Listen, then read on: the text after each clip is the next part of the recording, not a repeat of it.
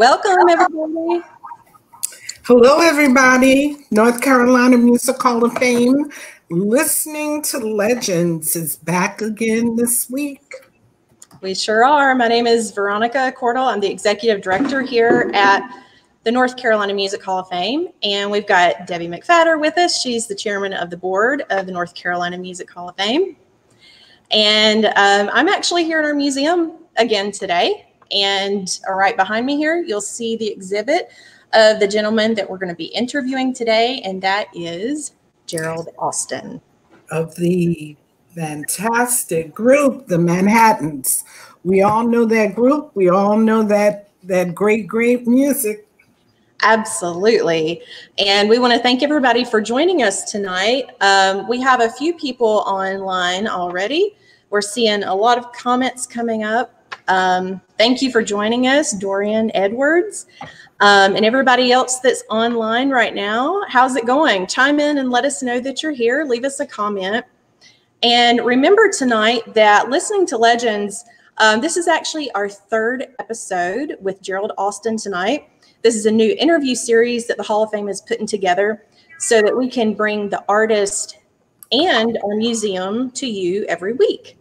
Um, so this is a way that you can interact with the artist as well. So if you guys have a question for anyone that we're interviewing, um, just leave it in the comments below. We're streaming live right now on Facebook and YouTube at um, facebook.com forward slash North Carolina Music Hall of Fame and on YouTube at NCMHOF. So, again, if you have any questions for Gerald Alston tonight, just leave them in the comments below and we'll try to get to as many as we can.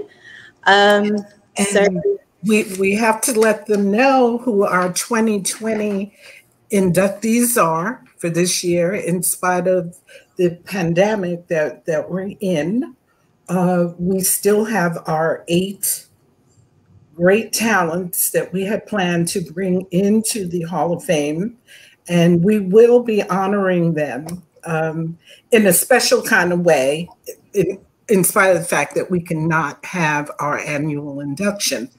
And this year, our inductees will be the Briarhoppers, the Squirrel Nut Zippers, Donald Lawrence, father and son Jermaine Dupri and his father Michael Mauldin. So excited about having that duo um, inducted into the Hall of Fame this year. We will also have Charles Whitfield. Yes. And our Lifetime Achievement Award honorees will be Roberta Flack and Tony Brown. So hopefully you guys will be able to tune in every week and uh, as, as we pay tribute to these great North Carolinians uh, with a whole ton of talent here. Yeah, and just stay tuned. Um, we are anticipating that we will have the induction ceremony next year for the 2020 inductees. Um, and what we're looking forward to is potentially having two ceremonies next year. How fun is that going to be? That's going to be a lot of hard work, but it is a lot of fun. it sure is. we look forward to it. It's yeah, we just we make so many people um, happy, and and that's what the Hall of Fame is all about. Absolutely. So I think it's about time to bring in our guest. Absolutely. All right. So we're going to start off this evening with um, Gerald Alston and the Manhattans and one of their biggest hits that they did called There's No Me Without You.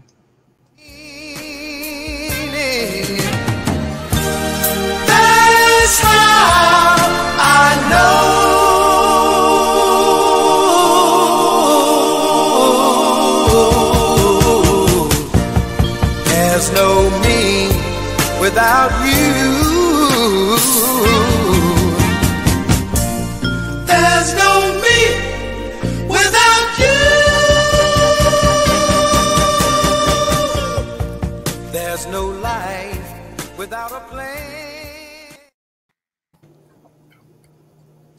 Hey, Gerald. Hello. Hi, Gerald Alston. How are you? I am just fine. Doing Wonderful. We are so happy to have you on our StreamYard show this evening. It, it is really an honor to have you back. Thank you. Thank you. It's my pleasure, and I'm honored to be back. Yes. Okay. And so with with with all this that's going on, what do you what have you been doing with all that spare time that, that you have? Well, um, housework. Yeah. Yeah, I've been working, doing things around the house. Great. Yeah, we've been, um, we're trying to finish up a new album, new CD, and we have um, one more song to do, and Okay. then we're actually going to master it, and it should be out very soon. Nice. Can you tell us about the new album? Sure. Um, it's a combination of of new material, and we have two. We got three live versions of. Um, we have live version of Everybody's Side, Kiss and Say Goodbye, and Shining Star, and um, then we also have, uh, of course, which is our new single today, is She's Coming Home. Um, single prior to that was Get It Ready, and we have another song called Love Ride. Um, what about you? It's, it's a very good. It's the same type of music with today's sound that we've been doing all the time. We're sticking to um, the legacy, the music that we've always written and performed for our fans Yes. are songs that tell stories that our fans can identify with and uh, can relate to. And this is what this CD is all about. And. Manhattan's featuring Gerald Alston, The Legacy Continues. And it's also produced by Mr. Curtis Dukes, which is one of um, my keyboard players. And I'd like to give a shout out to Curtis and to the whole organization, East Coast Connection, Scotty, Tom, and Andre, and of course Edna and Calvin. You know, it's these these are the people that keep us going. Yes, yes. So, how I've heard several stories um, on how how you got into the group and the age that you were when you entered the group. So, tell tell us how old were you? How how did that happen? Actually, when I gra- I graduated at 17. Okay. And um, I, before I graduated from high school, when, while in high school, we had a group called Gerald Alston and the New Imperials. And um, let me give you a little more background, go back a little further. I, I was started out in a singing family. My father uh, sang gospel with his brothers and his uncle and cousins. They were the gospel Williams brothers, the Williams brothers, the gospel brothers. And um, then my uncle Johnny Fields, he was one of the founding members of the Five Blind Boys of Alabama. So we, I had it in me all the time. And so when my uncle Johnny's son and I started a group called Gerald Alston and the New Imperials, and we sang all through high school. And then um, when I graduated, I started going to Kittrell Junior College. And um, my professor, Professor Blake, came to me one day uh, after class and asked me to I hadn't um, I said, sure. And I left school early that day. I went home, got the sound system and set it up.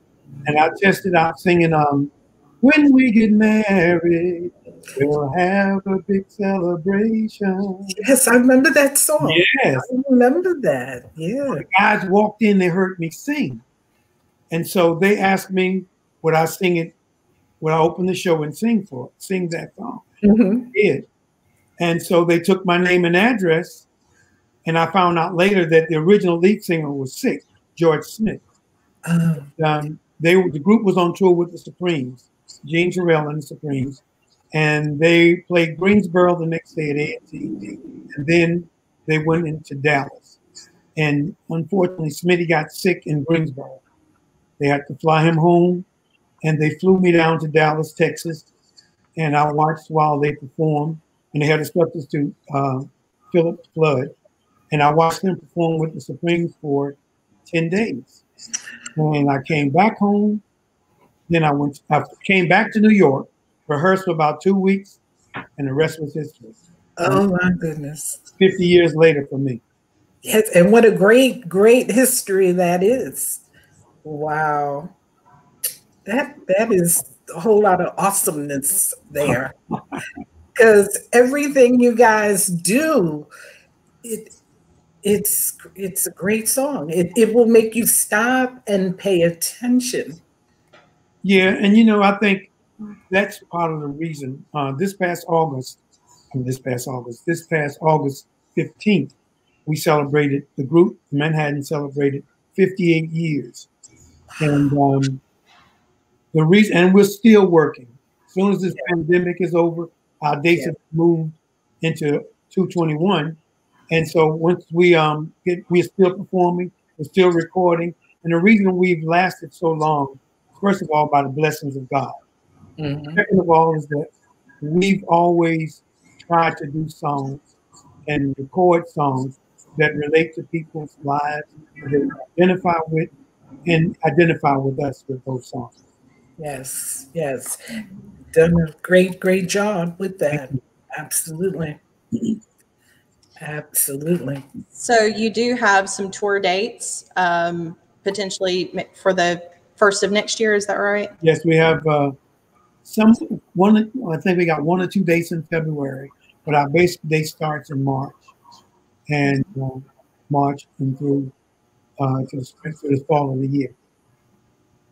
And people can go on to your your website, let's just kiss and say goodbye.com and get a schedule of your upcoming performances. Yes, we will be updating it with the new schedule of dates. I don't have all of them in as of yet, of, uh, Sure, but I will have them up in a few days.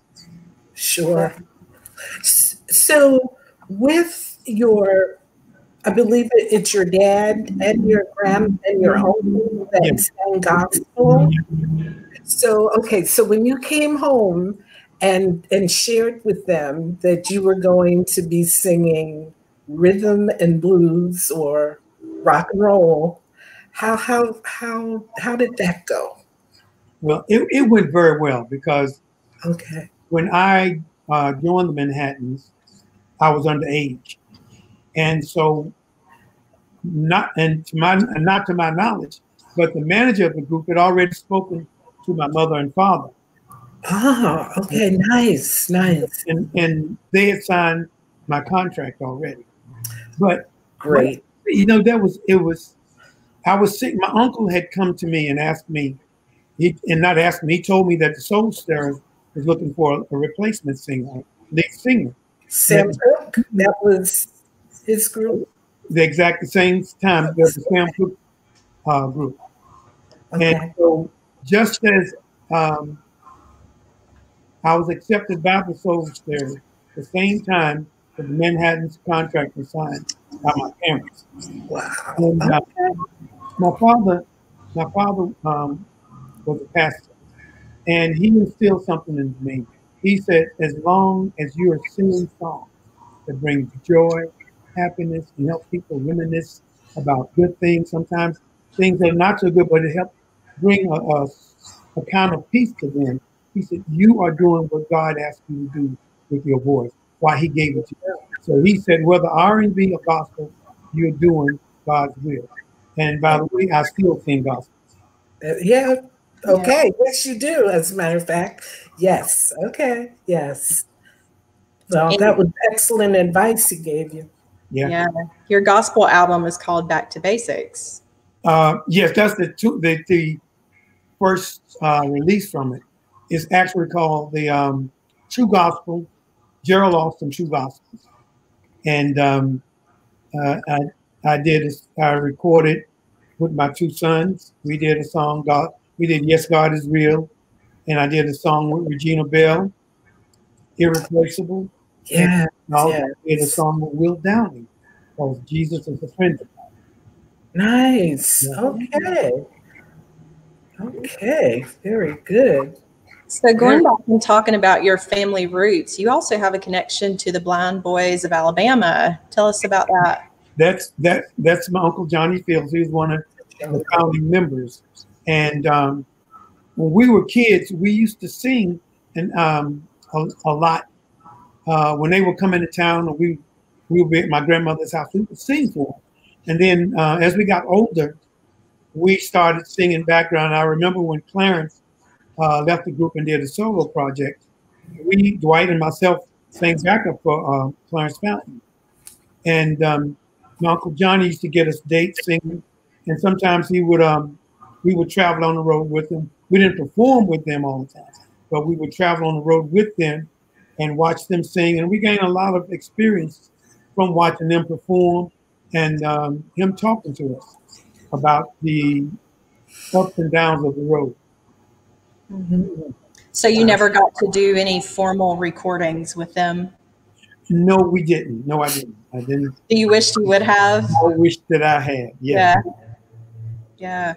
Yeah. yeah. But what is your favorite song to perform?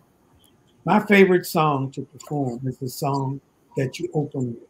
There's no me without, without you. Yeah. And, and, the reason being it is that there's no me without you is um is, is a love song. And it's telling the person that you're in love with that you wouldn't exist. It, it, it, you just couldn't make it without them. There's mm. no me without you. I use I take it one step further. I sing it for my fans, for radio, for my publicists, for the DJs, for everybody who supported us. Because just like you all have invited me to do this, this live interview and radio interviews I've done, yeah. we couldn't exist without this type of support. And our fans wouldn't know we we existed, you know. So it that's my way of saying thank you to each and every one of you. There's no me without you. Yes, very nice. Well, the night of your induction into the North Carolina Music Hall of Fame, I got your CD and your picture, and that is exactly how you autographed yeah your your picture. And I, I thought that was so so on point. Yeah. yeah.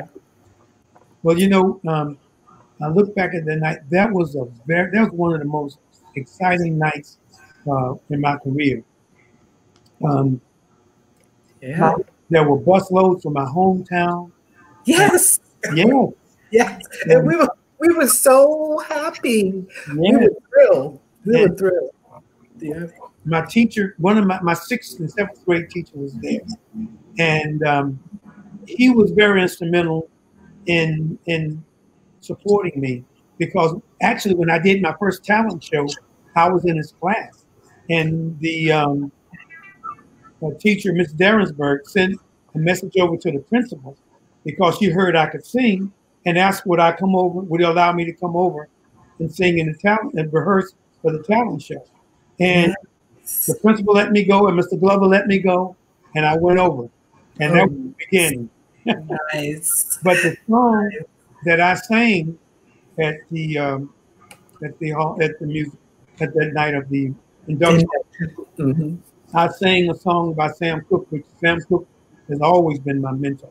I I sang "A Change Is Going to Come," yes. and with that song, I won the Apollo Amateur Hour in 1960.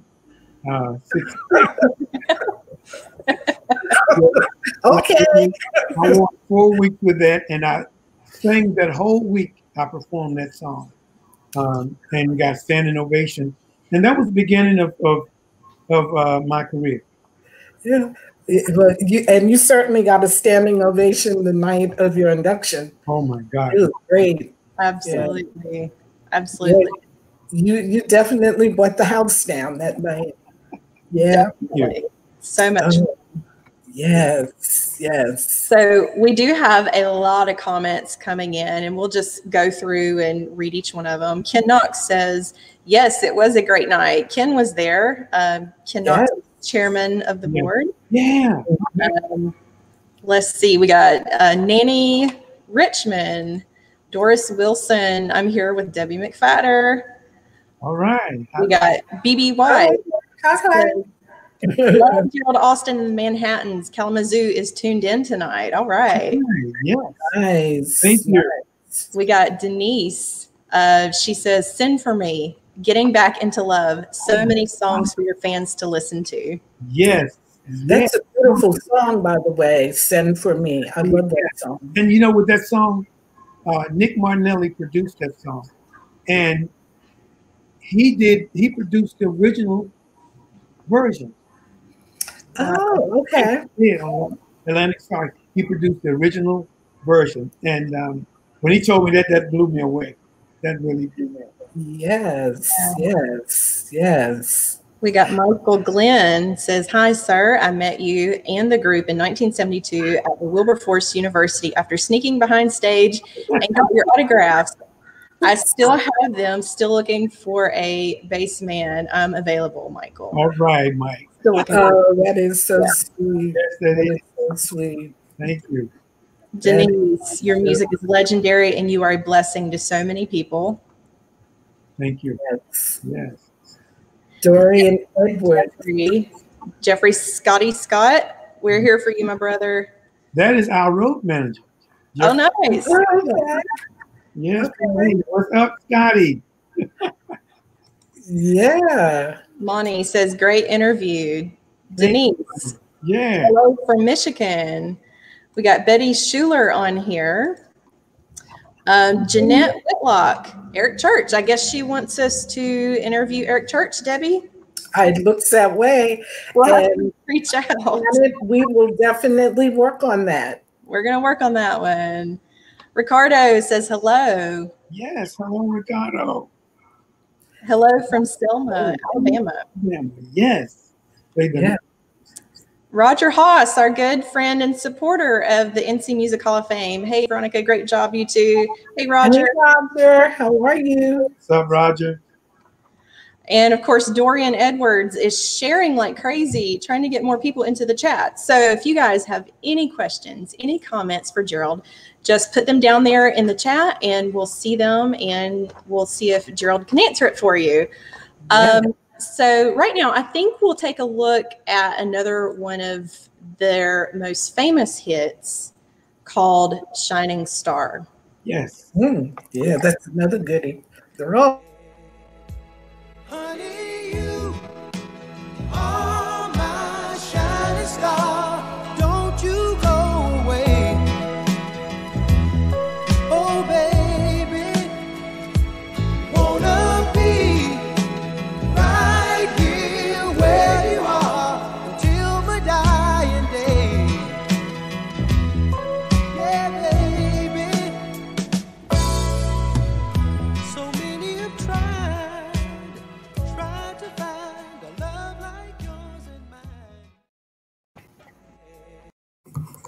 Wow, Such a good song. Such a good very good song. Yes. it was. So, Gerald, I have to ask you about the white gloves. Okay. How did that? How did that start? Well, actually, when I joined the group, they were they have a routine with white gloves. Okay. And, um, the routine was that at the very end of the show, they would turn off, and not there, at the end of the show, and actually on a, one of the biggest hits called "Can I Kiss My Brides," they "Can I Kiss My Bride," they would turn the light lights off, and they use a black light, and all you would see was the were the gloves gloves. different formations with their hands and uh, in the choreography, and it was beautiful. It was beautiful. And then um, at the very end of the show, we used to do a routine where Blue was boxed. He would do a little boxing thing, and, Okay. and and you could see the white gloves. It was very nice. Yes, yes, yes.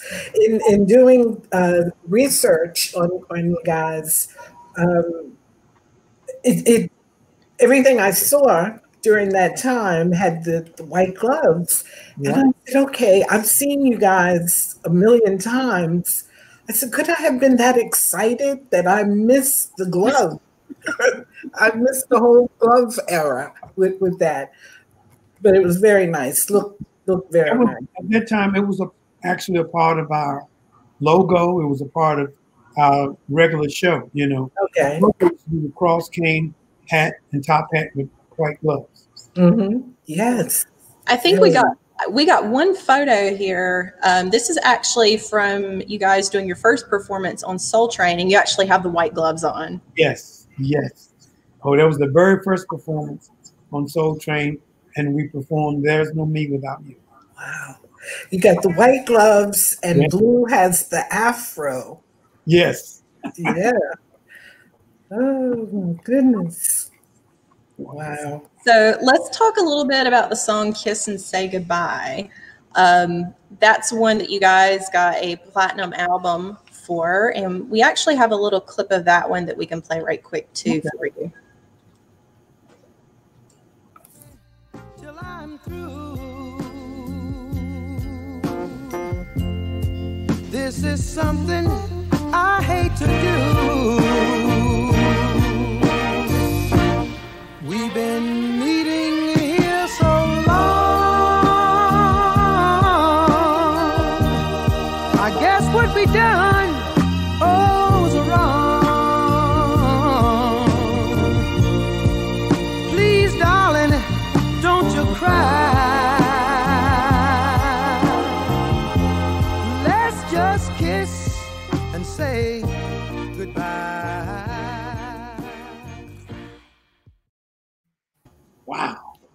That is memories. Oh God. There's a, the two of you. excuse me. There's a little story. Um, first of all, uh, I've been asked a lot of times um, who wrote the song, and I would say Blue, and they said they would ask Blue a lot of times, was that an experience that you had? And Blue would never say anything. No, you don't answer that question. no, no, no. But um, I remember the, the day Blue wrote Kiss and Say Goodbye. He actually wrote the song for a country and western artists that were on Columbia Records at the time.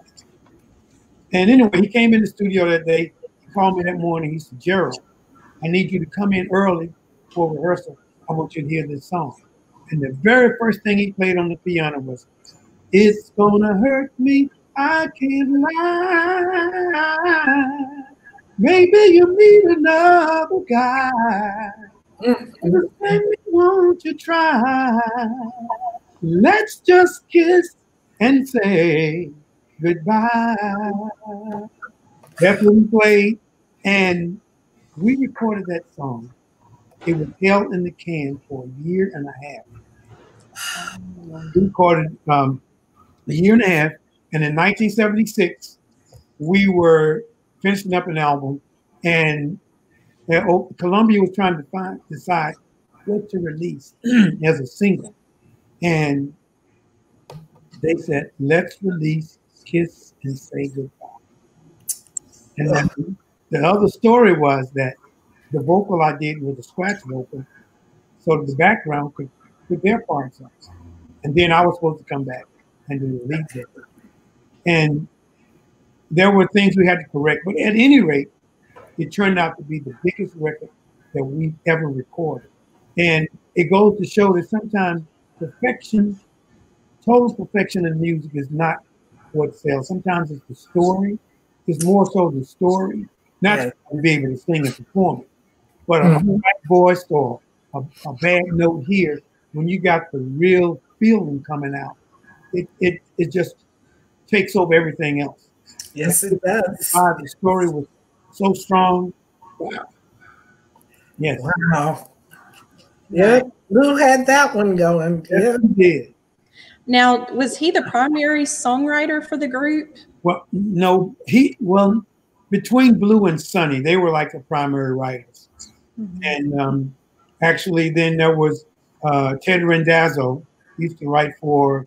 He wrote quite a bit for Little Anthony and the Imperials.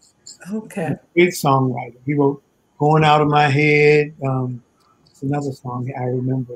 Right off the tip, I can't think of it.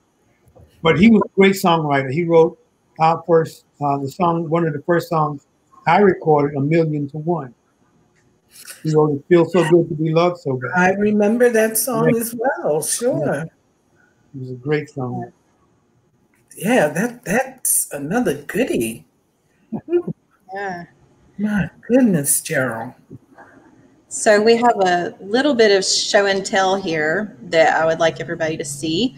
Um, again, we're at the North Carolina Music Hall of Fame Museum. I'm in front of Gerald Alston's exhibit, and we actually have your red and blue suits on exhibit here, and we also have your platinum album for Kiss and Say Oh, Goodbye. yeah, platinum is a platinum single. Yes. Oh my God. Oh, look at that. At Columbia, that was we made history because we were the first artists that sell a certified two million seller single. And Yes. a few weeks later, Johnny Taylor came out with Disco Lady, and that was the second. one. That was the second one. Okay. Yeah, but we did it first. First, that's right. Yeah, Wow, that, that's awesome. That is awesome. platinum single. Listen, say goodbye. Yeah. Nice. So, what about you with songwriting? Um, is that something you like to do? Yeah, I, I wrote it when I first got in the group. I wrote the B side to "There's No Me Without You," a song called "The Other Side of Me," and then Sonny, Sonny and I wrote that, and then we were in England on tour, promotional tour, and Sonny and I wrote um, uh, "We Never Danced to a Love Song." That's yeah. That's that was- another one of my favorites. Yeah, that was a big hit for us. And so I did some later writing in uh, after Kiss, after a Shining Star, on the greatest hit. Um, um, when I leave tomorrow, just can't seem to get next to you. These were songs that were B sides. They didn't, unfortunately, didn't make the, the A side. Yeah, yes, yes. So that was on Columbia. Yes. So are are you with Motown now? Well, I was when I did um, I did my solo career in 1987 and to 93, and I was with Motown. I did three albums on Motown and one on Scotti Brothers. Okay, Yes, okay. and, um, that's where I've been reading um, that a lot of the younger R and B groups and and single performers are leaving their record companies and and going independent. But what what do you think about that? you know it's excuse me. You know, as time passes, the music change, music change, and um, we as artists from the 70s, uh, we don't get the airplay on prime stations like we used to get Yes. because of the changing of music. You know, our style of music is not what's really happening today. So we decide a lot of artists go independent and promote their own music and sell our music. We sell our music at the gigs, um, online. Yes. And now that we have internet on the social media, that's a big boost for us. We can sell our Mhm. one, you know, over the internet and social media, and it, it keeps us alive and lets our fan know fans know that we're still here and doing it.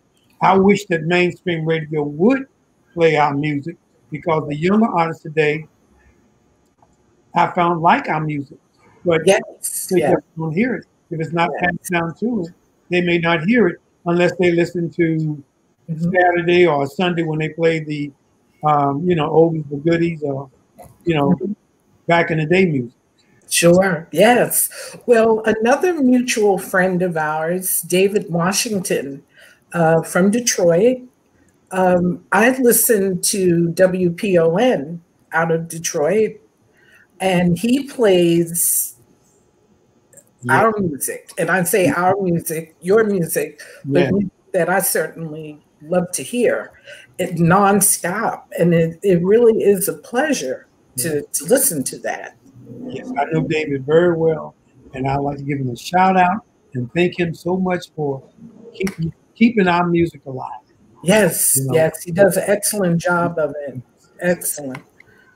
Yeah. And Veronica, do we have any more shout outs here? We do. We have um, Gerard Pinckney. Pinky. Yes. Hey, Gerald, great interview. Thank you. Thank you, Gerard. Yes, Um, and then Jeffrey Scott. right. Gee, thank thank you, ladies, for interviewing Gerald.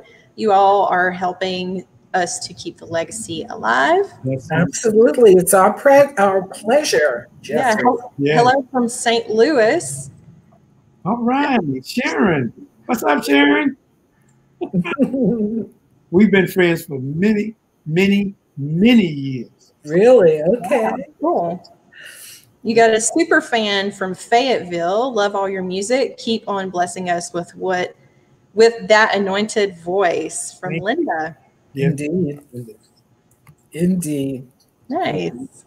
You know, um, I've like been, I, I got to do this right now, uh, Debbie, because you got a picture of the new group right behind you. At the top. Yes. Yes, that's the, Let's see if I can get up up close and, and Yeah. personal with this. yes, Okay. Okay. there you go. On that picture, that's uh, from my left to, um, from, from the viewer's left to right. That's David Tyson. Uh, that's Ron Tyson's brother. Uh, next to Dave is uh, me, of course. next to me is um, Troy May, and on the very end is my cousin Dwight Fields. And Dwight and I grew up singing together. That was my uncle Johnny's oldest son. And okay. Dwight and I, our lives did went full circle around. And he came back when Blue passed away, and he started singing. He stood in and he started singing, and became a member of the group. And we've always wanted to sing professionally together. And unfortunately, he passed away this um, You know what? 26th of this month will be uh, four years. Is that better? Yes. Yeah. Yes, that's it. Oh my God. Yeah. And today we are still carrying the legacy on, you know, um, and doing it. We're definitely doing it. And and the guys we've all now it's three of us down front. My guitar player, Mark Bowers, sings the uh, the fourth note. So um, we we're going to continue to do it, whether we get mainstream radio play or not. You know, we got the we got the David Washington that still plays our play our music. There are more radio stations like David that we are grateful for, Yeah. appreciate, and we're thankful for. You know, an internet, uh, all internet stations that still play our music. You know, um, it's just wonderful. Sirius Radio still playing our music, so we still have a outlet for uh, our fans to hear our music. Yes. Yes. Yes. Now you you made a you made a promise to Blue Lovett that you would carry on the legacy, right? Yes, indeed. Yeah. Do you feel like you guys are doing that pretty well? Oh yes, oh yes. And when this when this new CD come out, you will see it. You well, you will hear it. You know, um, we've done a few things. We got um, our first single, "Get It Ready," was up tempo, mid tempo, and this song we have out now is up tempo. Uh, She's coming home. But we went back to doing what we do best, our ballads, and um, we're keeping the same attitude. You know, we just changed the style a little bit, but we're not taking away from the classic sound that we have and the, the stories in the songs that we have. Sure. Veronica, can we play a little bit of She's Coming Home? Sure. Here we go. Be. Oh, yes, it was. That makes me feel this way. Whenever there's a cloudy day. She gets so much attention from all those guys you see, but I'm not worried about it. Oh no, she's coming home with me. You better believe it. She's coming home with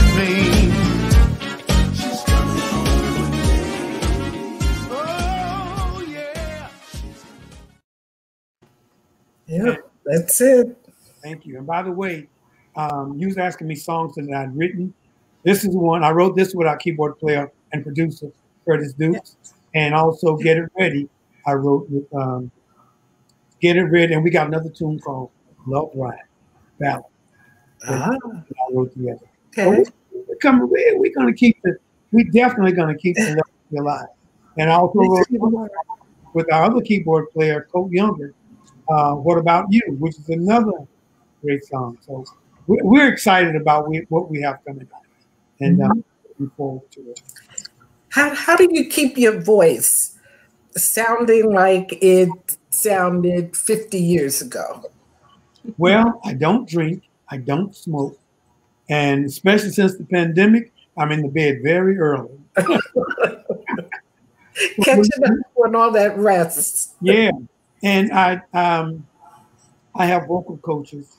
I have a vocal coach that that, um, that I work with, and I also have less the vocal coach tapes from back in the day that I still use. And I just warm up and try to keep myself, uh, keep my voice strong. And actually today, I had a session with myself. I did my vocal exercise, and I just sang three or four songs. Just sing them out, you know. Yes. And Okay. so that's how I keep it going, and just take care of my voice and get rest. Yeah, because I mean, it's uh, some people you you might hear in person, live and uh, up close and personal, and they sound absolutely nothing like they sound on their records. And you, I'm listening to you speak. I'm listening to your today music and music prior music, and Yeah. it, it's all the same. It's Oh, yeah. And you know, it's, that's a lesson that I uh, I was taught from my father. He always taught me to sing from the heart, sing what you believe. You Mhm. know, if you believe in that song, or if that song relates to you, which he always told me to do, sing songs that you can identify with, even if it didn't happen to you, but you can identify with that song. Sing it with your all and all. yes, That he, that he always told me that, and he said always learn the song, not just know the lyrics, but learn learn the song. And that's what I've always done, and it, it is enabled me to be able to sing from the bottom of my heart every mm-hmm. time. Sing from my heart. and it comes so natural. There's no us as an audience. We we cannot see a forced effort. It just comes, rolls right right off your tongue, Yeah. right right to us. And Yeah. I, you know, I started singing. I think um, first time I remember singing in public, I sang at um, church service one morning, and um, I sang, um, "Jesus loved me, yes I know, for the Bible tells me so. Little ones to Him belong. They are weak, but He is strong. Yes, Jesus loved me." Yes, Jesus loved me. Yes, Jesus loved me. For the Bible tells me so. And I was so nervous that morning that knew. And um, I, I, there's a, a, a gentleman I always refer to where we grew up together, Eric Walker. And I remember that day they asked me to come up and sing. And I got in from the, the church and I, I started, I was so shy. And Eric walked up to me and started singing the song in my ear. And I started singing it with him. And he walked away and left me singing it. And it was all over since then. That's And all it took. yes, I always have to give Eric that play because I- he gave me he gave me that inspiration, singing Yeah. in my ear. You know, Yes. um, I will always remember that. Wow, my goodness, great. That is that's great. It's such a good story. And I know so many kids, that's the very first song that they learn to sing. Oh yeah. Yes, yes, that's right. Yeah. My goodness. So what Oh, what prompted the creation of the Sam Cooke album? Well, Sam Cooke is is, has been my mentor as far as I can remember. I remember as um, growing up, I used to have a little record player, and I would put on all of his little Sam Cooke's records, and I would do a concert right in my living room. You know, by myself. I didn't care who was watching, who was listening. was like my living room was full of people. And uh, the um, the very first song I sang in the talent show was Sam Cooke's version of Tennessee Waltz. And um, I, I, learned songs from both sides, the gospel side and his R&B side. And so I wanted to pay tribute to Sam Cooke. So I did a combination of his gospel and his R&B. And I remember his brother LC did the liner notes for me. And he made me very proud. He told me, and he mentioned it in the liner notes, but he told me, he said, you know, I've heard people try to sing like my brother, honor him, but they tried to sing like him.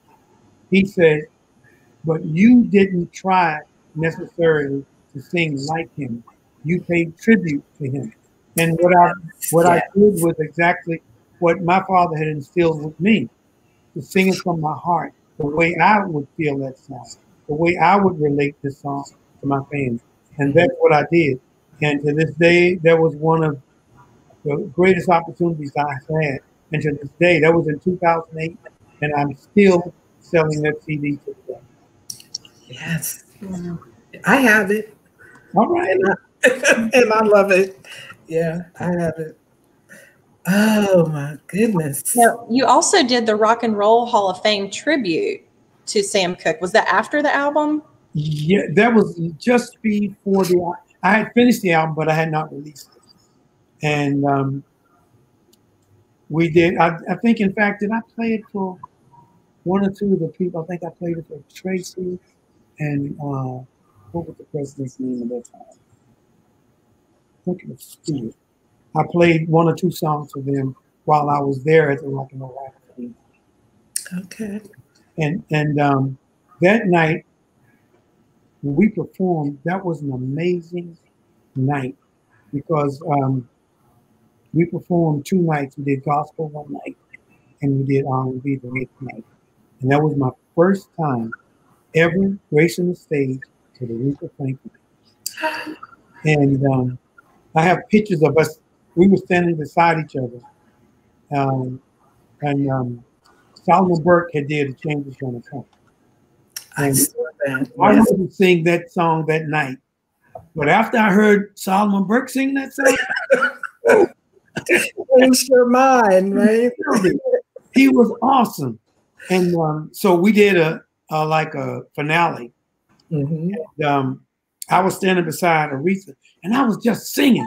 Oh my God! And Aretha kept she nudged me a couple of times. I said, "Oh gosh, I got it going on." Aretha nudging me, and she nudged me again, and I looked around at her, and she pointed down, and I was standing on her shawl.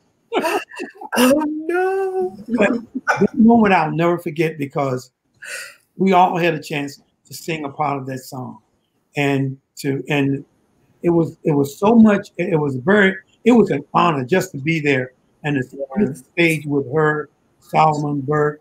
Um, there was the Dixie Hummingbirds. Um, I think the Pilgrim Travelers, the Highway QC, all the groups that were from that era um, were there, and we all performed together, and um, it was great. It was great. I'm sure it was. It had to be with all of that on one stage. Oh my gosh. It was awesome. And, and with Aretha Franklin, oh my goodness.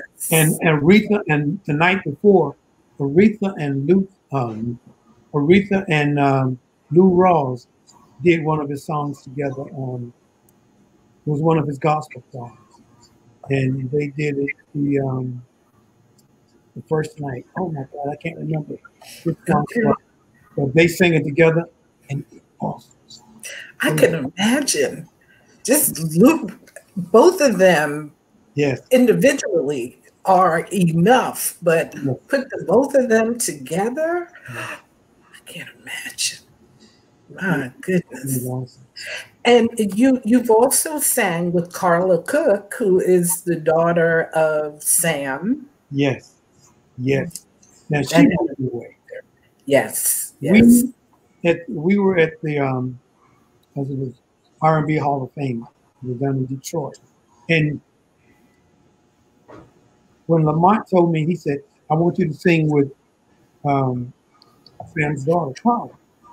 And so we, we were having rehearsal that afternoon, and but every everything was like a little chaotic, and we didn't get a chance to rehearse. The um, I think the guitar player, no, the keyboard player came and we sang the song one time. But then we came back that night and we sang it together. And she actually harmonized with me in certain parts. She was, it was unbelievable. It was unbelievable, that performance.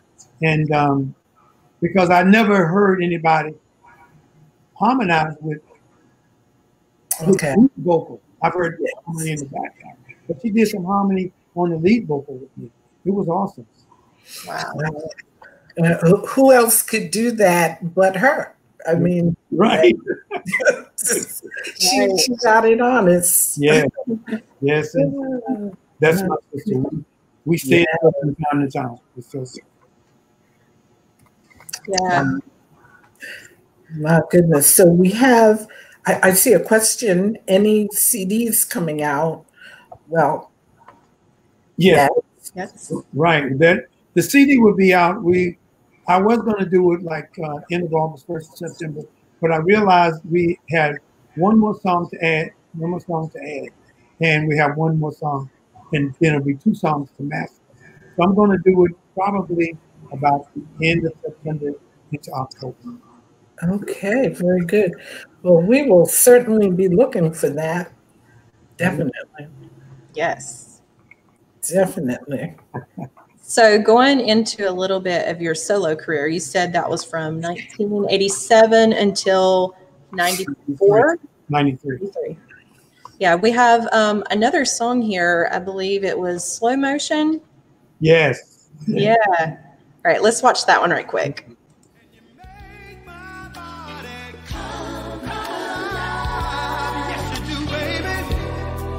And I feel the need to tell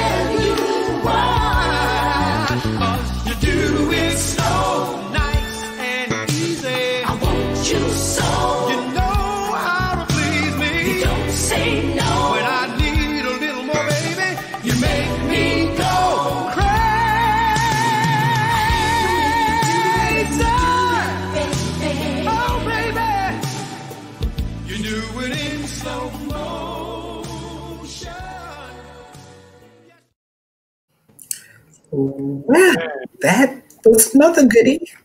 Yes, yes, indeed. And um, those songs just they resonate with me. They they they um they're part of me, you know. Mhm. And um and and that's from the inside. Dan wrote that and was produced by Jimmy Bonner. Um, that was um, the second from my second album on Motown, and um, it it that was a great song. It was just a great song. Yes. Now, who, who does your choreography? Our choreographer used to be the late great Cholly Atkins. Pop Cholly Atkins. Oh, yes. Okay, I'm familiar. I'm Yeah. familiar. He, of course, he did the Jacksons, all the Motown's artists. the Yes. You know, and, um, he did O'Jays, uh, Gladys Knight and the Pips, Mhm. Manhattan's, and um, also my wife did some of our choreography. He Okay. made her, he made her the captain. Okay. He would- once he finished with us, she would uh, keep us in check with it. Great. Great. wow. She was- Okay. Yeah, because your, your moves are very smooth, very smooth. But that's in in in that genre and in, that age group, the moves were beautiful. Everybody was. I don't care what what group it was. I don't I don't recall a group that had bad moves. From Manhattan's, Four mm-hmm. Tops, Temptations, mm-hmm. Miracles, yes. Whispers, That's right. Dramatics. I mean, and the list goes on and on. On and on. Yeah. Yeah. You know, um, We have, we have another one here too. Um, the title of it is "There's No Me Without You." yes.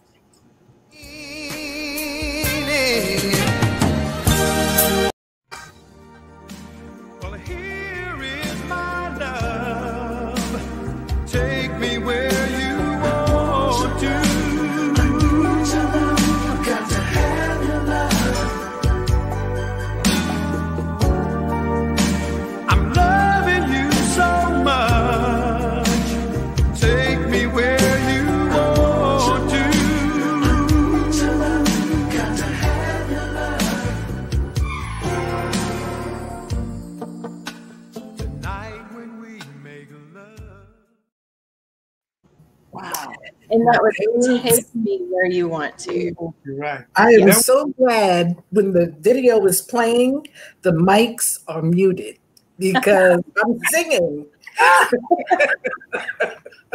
you don't want to hear this. That was my very first solo, now my debut solo album, and that was the very first single. And and I remember we did it. We recorded that in Reno, Nevada, at a studio called Granny's House.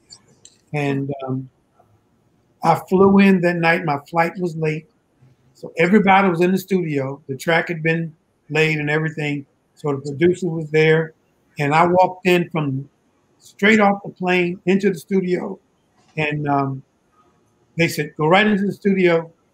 We need you to put this down because we're running out of time." I went in and I sang that song one time. Wow. That was it. And it was it was it was so emotional.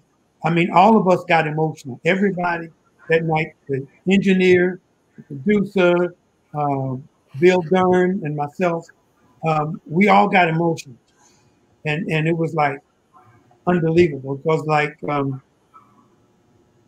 it was just it was just the emotion from the song, Yes. Yeah. Yes. and um, Yes. I'll never that one night I will never forget.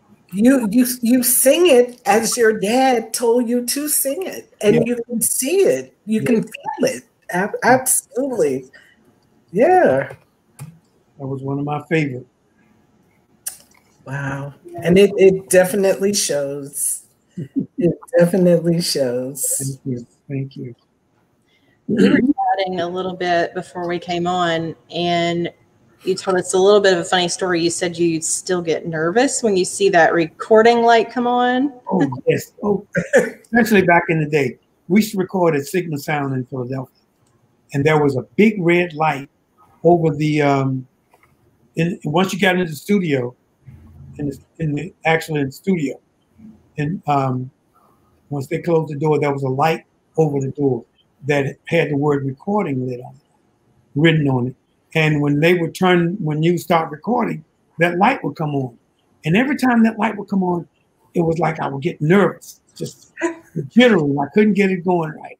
And so um, the, the, student, the engineer at that time was Kenny Present. And I remember Kenny said, um, Gerald, let's let's do this again. And um, we just just try, just rehearse it one time. And he didn't turn the light on. And that was it. The song was through, done. There was something about the light that made me nervous. Whenever the light was on, I was nervous. Oh yeah. Oh my goodness. Yeah. Eight o'clock.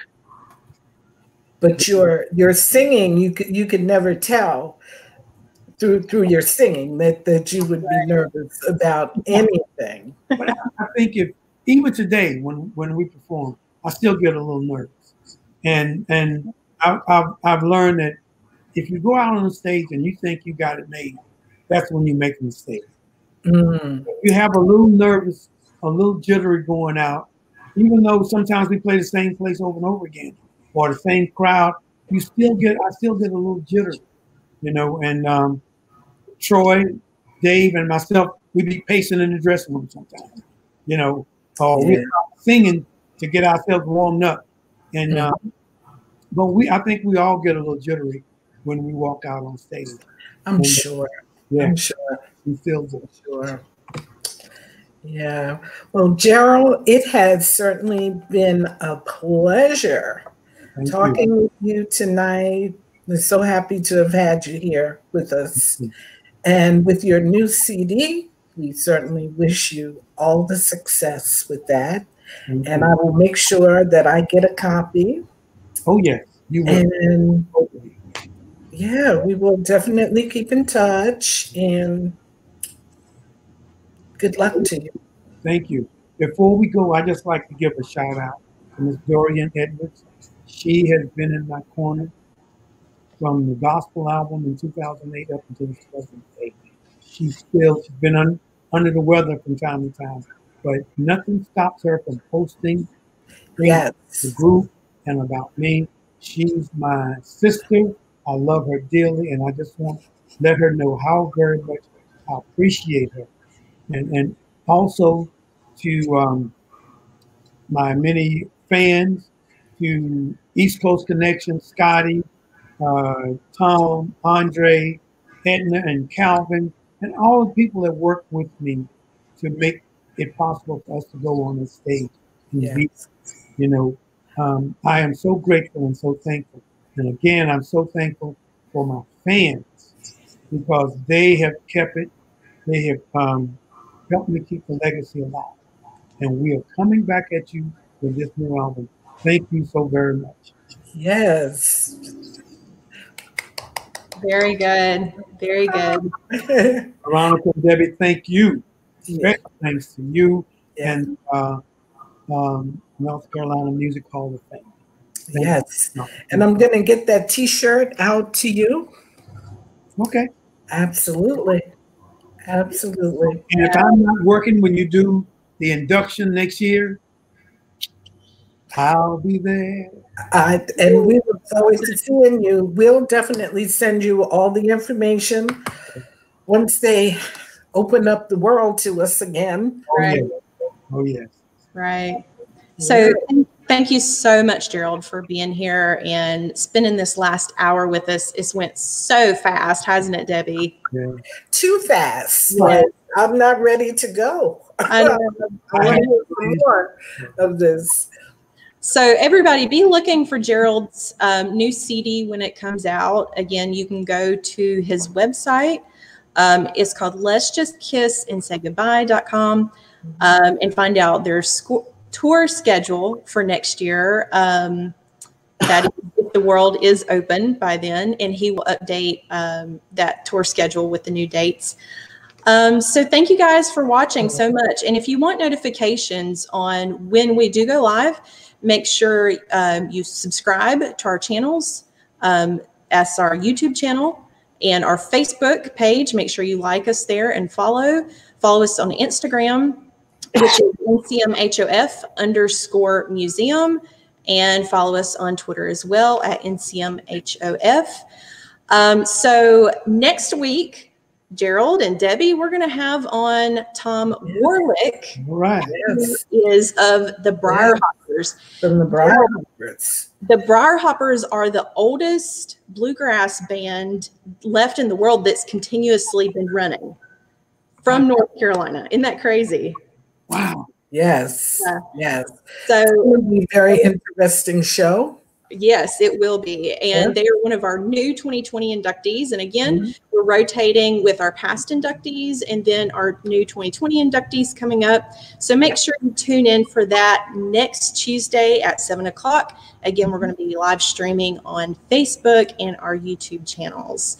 Um, so get your questions in. You can go ahead as soon as we get that link up and start um, putting your comments and questions in the box, and we will get them. Um, and we want to thank you again for watching, and everybody have a good night. Okay. Thank you. Good Bye. night.